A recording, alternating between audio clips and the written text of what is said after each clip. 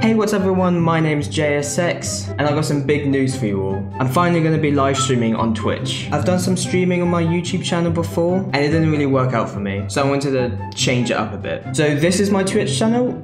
Go and subscribe to it. I'll be playing and streaming random games on it. I'll also be uploading the streams on my main channel. So some of the streams on my Twitch channel, I will be uploading on my YouTube channel as well. Speaking of my YouTube channel, go and hit that subscribe button if you're not so subscribed. Right now I'm live streaming for the Fortnite live event. Go and check that out. It's going to be so epic.